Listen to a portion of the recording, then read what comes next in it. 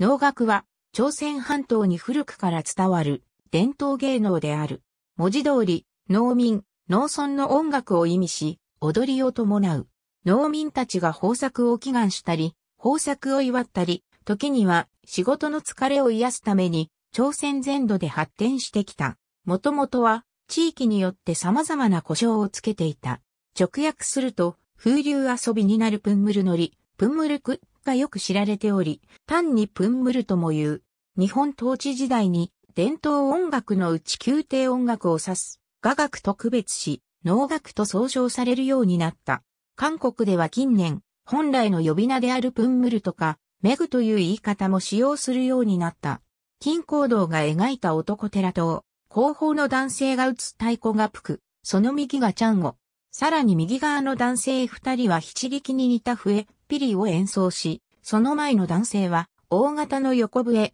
手組を鳴らす。踊る少年の右の男性は弦楽器、敬語とを演奏する。能楽が普及したのは、李氏朝鮮時代である。農村において、春には豊作を祈願する祭りとして、夏には収穫期にその農作業を癒すために、また秋には収穫を祝うお祭りの中で農業の営みと共に伝えられてきた。現在においても農学は各地方の農村部に受け継がれている。また都市部においても鮮やかな衣装をまとった農楽隊や音楽は祭りやイベントには欠かせないものとして愛され続けている。農楽に使われる主な楽器には以下のものがある。このうち、陳建ガニチャンゴプクを用い、韓国全土の農楽のリズムを編集し、舞台芸術用に体系化したのが、1978年に結成されたサムルノリというグループである。現代の能楽発祥にはいくつもの説があるが、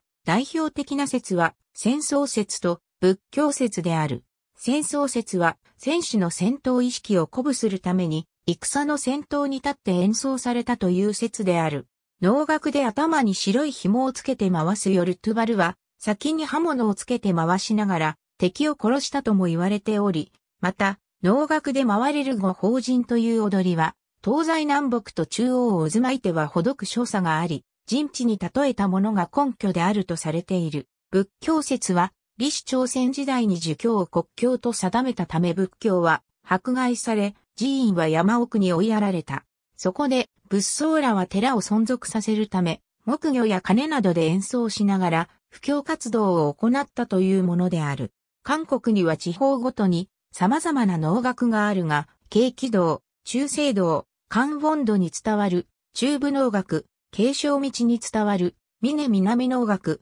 全羅道に伝わる、古南能楽の三つに大別できる。この三つの能楽は、地域の特性やその地域に住む人間性を表していると言われる。特に、全羅道に伝わる古南能楽は、山岳地域の茶道能楽と平地側の右道能楽の二つに分けられる。山を越えながら演奏する左道能楽は同じリズムを繰り返し叩くのに対し、右道能楽は様々なマスゲームを行い、テンポよくリズムが変わる。なお、現在の朝鮮民主主義人民共和国の統治範囲や中国の延辺朝鮮族自治州でも能楽部が行われているが、基本的には伝統芸能とは違ういわゆるプロパガンダ的なものが行われている。ありがとうございます。